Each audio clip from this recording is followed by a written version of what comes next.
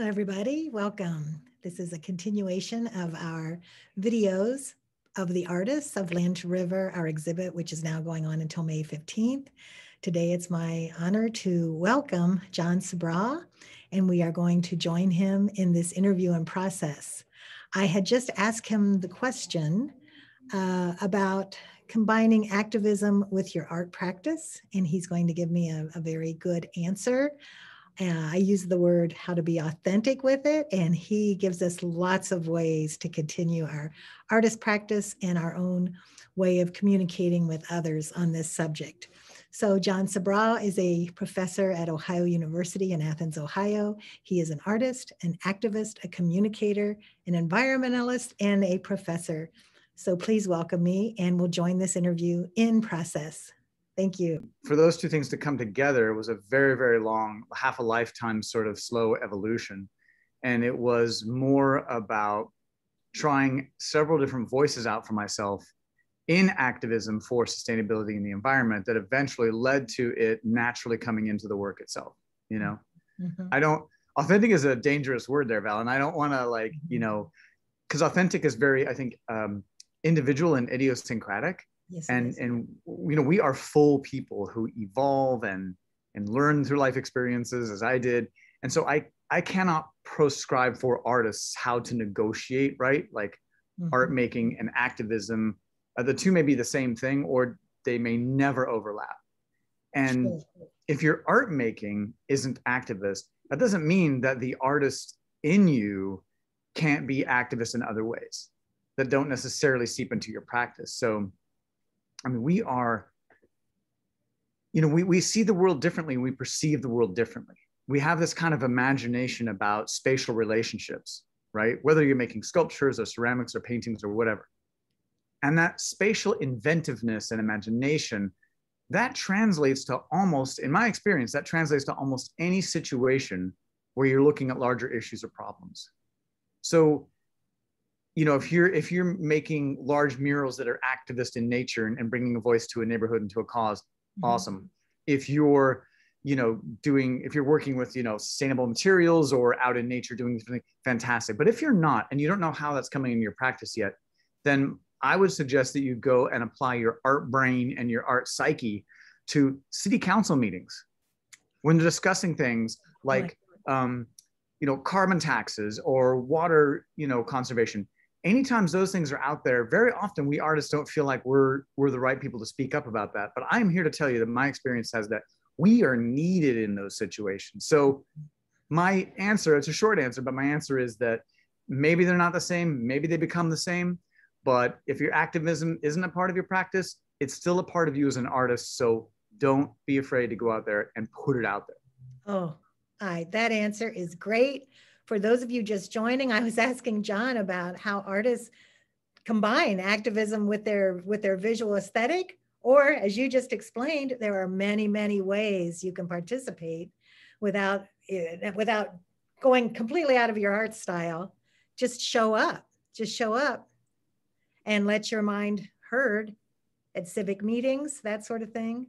Yeah, that's excellent, excellent. Good answer. Good answer. I like that. Thank you so much. John Sabraw. Yay. Now, I know a bit about you from my husband Armin, another artist. And you two work together in an arts materials facility in Chicago. And he said you are basically the man to sell art supplies and know lots about them. Now, I like to help young artists create their I'm going to use the word journey like you did, the journey. And tell us about working and what that led for you as an artist later. Huh. Uh, um, that's that's like a seven hour conversation, as you know, Val, you know. Um, yeah. Well, I, I mean, I think that, okay, so the thing I think I should be a little, give you a little bit of background, which is that you know, growing up, I didn't know any, I didn't know art existed, you know, until I was like in, in basically high school. I had no idea there was art was such a thing. And I thought that all artists were dead. I thought they were just the people we looked at in books. I didn't know there were actual artists making art. I'm not joking either. I didn't know, I never met an artist. I didn't know there were artist people. Uh, you know, small town military kid, kind of didn't have any background or any global perspective whatsoever. And So I went to school at Pratt Institute right out of high school and having never been to a big city for illustration because I, I knew you could illustrate things and I wanted to do, you know, Led Zeppelin's album cover um, so that they would get back together again. Um, and uh, and it was you know it was it was eye opening and and I went there for a two year associate's degree in illustration. That's all I could afford, um, etc. Mm-hmm. Um, but when I graduated, the the summer after I graduated, I also I actually uh, wrote and illustrated a dummy for a children's book, and I submitted that to a company, and then they called me the next day and they gave me a contract, so I didn't have to work for the three months after school, and I did this children's book, which was, you know, hilarious and you know, like all children's books, I guess it has a lot of nudity and violence in it. So my editor had a lot of work to do. To, a little know, bit of work, a little bit edit. you know, had to get it down from an N17 to more like, you know, a 17 months, you know, but and then they didn't like any of my manuscripts after that because they were all like it was crazy stuff. Um, and then from there i had to suddenly get work. And so i actually answered an ad in the village voice for someone who was a sketcher. And so i i and they said well come into the office. And i came into the office and they put a purse in front of me and a piece of xerox paper and a blue ballpoint pen. And they said draw the purse. And i was like okay. And i drew the purse. Draw the purse. Yep. And they came back and they go you're hired. Next thing i know i'm on a plane to like you know, Taipei and Hong Kong and Dominican Republic, going to these factories designing ladies' handbags. Had no experience in it, didn't know anything. I'm working on Fifth Avenue. I know, I know. Um, so crazy. That didn't last long. I mean, you know, I, I designed. I was. They asked for for um, Armani. They asked me to design this, all these little accessory bags, and one of them was a cigarette case and um, no one caught that it was a coffin. I had designed a coffin. Um, oh, um, subliminal! Yeah. So I lost. Uh, so I lost my job there. Um, Talk about. Um, and then I, I did. I was worked at an auction house. So about this time, I had these crazy roommates in Brooklyn, and one of them got a job at the Andy Warhol factory. Andy was still alive at this time. Uh-huh. And that's when I got to see that, oh, this whole big city is full of artists doing art things. And I was trying to be a freelance illustrator and a children's book author, and I didn't want to do, I didn't want to design ladies' handbags. and um, you know, I wasn't good at any of it because every time I got an illustration job, I thought my ideas were much better.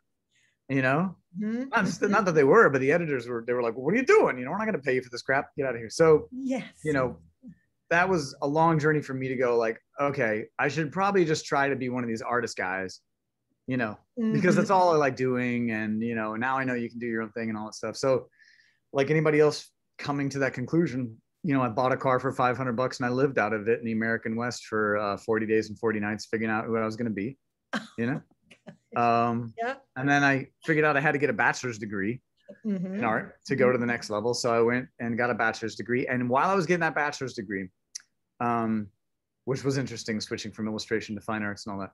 Uh-huh. Um, an art history professor who, who I love, she allowed me into a graduate seminar on Rembrandt. And they were going to examine the new, stu- the new technological uh, studies of Rembrandt paintings to determine what was Rembrandt and what was not. Okay. I got into that so deep in terms of like the pigments they used and mm-hmm. all the all that stuff. It was crazy.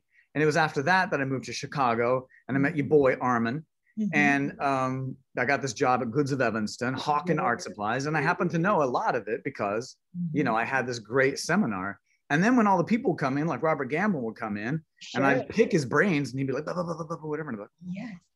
And so after that, I was so fascinated with it um, that when I went to my master's degree at Northwestern University, I, I taught a seminar there in that, um, all kinds of things. It was it was awesome. It's yeah. crazy. I, that Robert Gamblin connection, and you even worked a bit with Golden, I believe, on some of the pigments as well. Oh, sure. I have a little container of some uh, reclaimed uh, work there. Oh, um, Art Guerra, Guerra Paints in New York helped me out a lot. It's been it's been great, and that that just gave me this framework to have a conversation about it with these people. You know. Oh yes, absolutely. They really they really want to talk about that stuff, as you know. They love that that paint geek stuff. I love. I am a paint so, geek. It's true. Oh yes. Oh, it's just wonderful. Now, leading into that, all of this pigments and this and that, and we have some work in the gallery right now of paintings with your acid mine drainage pigments yeah. in there. Uh, and you had a partnership with Guy uh, Riefler, a civil engineer professor at OU, Kickstarter project, come up with all this. Tell me about that experience. The the Kickstarter project page is is piece of art right there, I think. That video that we play in here is wonderful. Thank you. Thank yeah, you. It's great. Well, there's a long backstory that I won't get into, but I had arrived at a sort of a crisis in life when I got my first full-time teaching job at Washington University in St. Louis, and it was it was because I had been very activist and I had been writing letters, and it was about the Iraq War and and you know mm. Bush Jr. wants to go in again and all this stuff, and um, I, I wrote another kind of letter to the editor in the St. Louis Dispatch, and I got boxes of hate mail one day at my home address boxes and boxes of hate mail and all i had said was that we should work with the united nations we should figure out way mm-hmm. and like um and i just thought and it just kind of set me back and i realized that i wasn't you know wasn't impacting change right mm-hmm. mm-hmm. and so after that that's when i began to look at what what can i have a voice in how can i be active and do something that's going to create change and at the time my daughter was a little tiny baby and uh-huh. so you know you start thinking about the future of yes. your kids and i'm like i'm like what am i you know what am i leaving her and that's when i really started looking at um, you know issues of sustainability and environmentalism because mm-hmm. that's a part of my upbringing so i got after washington university i got a full-time job here at ohio university mm-hmm. and i was going to come here for three years and i've been here 17 years so um, and I didn't know anything about this place. And so some really great, awesome faculty members here in the environmental um, studies program, Michelle Morrone, Nancy Manring, Lorraine McCosker, all these people, oh. they put together this group of faculty people to take us out into the woods, into the hills, those of us, especially who are not Ohioans. Yes, um, I'm Ohioan, so they're beautiful hills. They're, yeah. good, they're good hills. Great and, hills. And they were like, here's these trees, here's these invasive species, here's this thing. And then one of the things was, here's this acid mine drainage, right? and I was like, wow, this is this is terrible. You can smell it, you know, it's awful. You can see it, you know, it's it's awful. And so, you know, being the pigment geek, you know, I took some in a jar because I knew it was iron oxide, this pollution from coal mines that had been mm-hmm. abandoned. Mm-hmm. And I played with it in the studio, and I couldn't get much traction with it. It wasn't it wasn't very nice to play with, you know. Uh-huh. Yeah, no, no. Oh no, it was you know it was funky. I mean, you know, say, what's he work? Yeah, he's like, what's what is he working on now? There it is. It just looks like this. It doesn't look know. too nice right there. no. So um I, I just I was like, well, you know, I hope I can paint with it. This could be something. This could be a valuable resource if something on.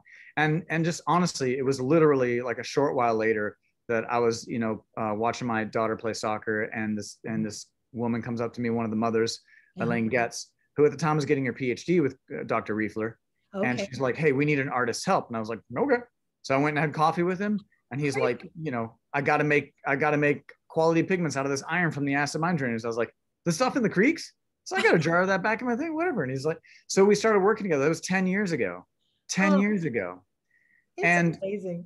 we didn't get much traction, like because our pigments were terrible. I mean, they were terrible. And so we'd try to get traction, try to get funding and everything else, and we just mm-hmm. couldn't get it. Mm-hmm. Um, eventually, working together along with our students and grad students, we got to a place where the pigment was delicious, and we were like, "This is pretty good stuff," you know. Uh-huh. And so um, that's when I just literally, um, daughter again. I wanted to show her the American West that I knew from my living out there in my car, mm-hmm. and so although I I did stay in a hotel with her, and so we actually um, we drove down through Portland, Oregon, and I was like, "Well, I know I know Gamblin's in Portland, yeah. Oregon." And so I was like, why don't you guys go to the science museum? I'm gonna go down the road here to this factory. Okay. And I just went in, I barged in and I was like, hey, yeah. hey you guys, look what I got. And so they were scared naturally, but eventually I convinced them I wasn't, you know, a danger to anyone but myself. And so Scott Gellatly, who was production manager at the time, came out, met with me. We we spent almost three hours together that day. And they were like, yeah, we'll help you out. So they took our pigments into their labs they checked whether it was non-toxic and light fast and other kinds of stuff. They mm-hmm. talked about our grind and other colors that would work better. And so uh, somehow I convinced them to actually make a giant batch of this stuff. And that's where the Kickstarter came from. And once we did the Kickstarter, they, they made this and the tubes were like, um, I love your space. like this was the um so this was the first tube they made. Reclaimed Earth Violet. Yeah. Yeah. And that was their idea for the name, which I was like, that was better than my name. I can tell you that right now. And so we we gave this away as a Kickstarter like reward, right? Mm-hmm. Yeah. And that was to help build this first pilot plant at the second worst seep of acid mine drainage pollution in Ohio. And the thing is, is that it was exhausting. I got to tell you, kicks. If anybody wants to know about Kickstarter campaigns, let's have a conversation before you jump into. It's exhausting, but we had 488 backers. We raised $33,000. We got the plant built. We built an art wall. We had some shows and other stuff. Mm-hmm. But what that did, that Kickstarter campaign and Gamblin's support of us, what that did is that let the Ohio Department of Natural Resources and other people go, okay, now we think it could be viable, right? Mm-hmm. And so that is when everything took off just a few years ago. This is 2018, if I remember correctly. oh my gosh. Yeah. Yeah. That long ago.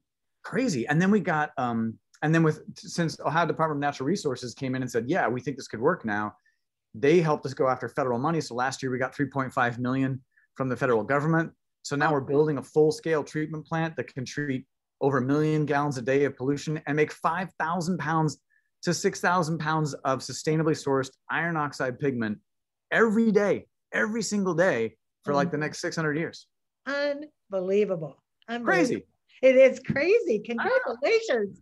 That is that is so monumental. And Okay. You know, and that that pigment can be used across. Uh, I'm just a wild artist thinking, paint is all paint, even house paint, everything's all pigment based. So can it be used for other materials besides fine art materials?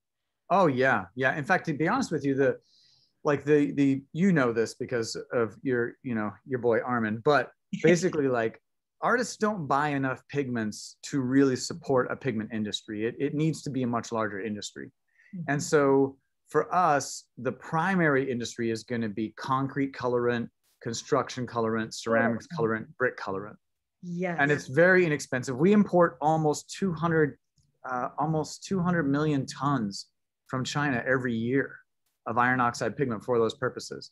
So we'd love to supply a fraction of that from this, you know, sustainable source. so And then when we sell it, that will pay for the plant. It will create jobs. In fact, it'll double the tax base for the zip code. And then it'll also um, allow us to have a profit that we're we're set up the company so that the profit doesn't come to us. The profit goes to clean up further streams that are affected by acid mine drainage. that that is mind-boggling right there you know Yeah. to think that it's being used in all of those different products Yeah. so Use it, they use it in cosmetics. They use it in food. oh Everything. my gosh it's wonderful great great oh i'm so glad to hear more about that and now back to the artists again Yeah. so because you've been there and done that i'm thinking of five four to five bullet points that we artists can just take away as mantras practically you know as we're thinking about the environment as we're thinking about activism you know little sound bites that we can grab onto Um, yeah, I got some sound bites. We should keep this PG 13 though. So, oh okay there we go um, so here's something I'm running into a lot lately that I think is is something I'm I'm telling myself a lot, which is um, as you're trying to make a more sustainable life and practice, right? Um, don't stress about being perfect. This is something that gets me a lot. You know, um, it's whatever you're doing, as long as you're working towards it and you're researching and you're and you're doing whatever you can when you can, Mhm. don't beat yourself about up about not being perfect. None of us are going to be perfect. If you want to be perfectly sustainable, go die in a field and let them let all the animals eat you. That's sustainable. that's sustainable I'm not. Everything else is a No. compromise. Everything else is figuring out a way for us to exist and coexist. And there's going to be take. You know, Mhm. that's it. yes Um, you know, that is a good one so Yeah. don't worry about perfectionism don't worry about Let's perfection. do some yes Yeah. love that So yeah, uh, I, I try to tell myself that all the time because I, you know, when I go give talks, people come in and they're like, you know, well, you're not doing this, and what about this, and what about that? I'm like, yeah, all those things are true. You know, I can't, I can't be perfect. You know. right The other thing I'll tell you is that this is also this goes hand in hand with one. This is two. Okay. okay This is offset your carbon footprint. okay It's a minor thing. Go on, just literally go into your Google search or whatever okay and go carbon offset. You do that, and there's a lot of companies, and you can just go in and they'll help you on their websites figure out kind of what your carbon footprint is. Mhm. And then you pay a fee to buy some carbon credit sort of things, right?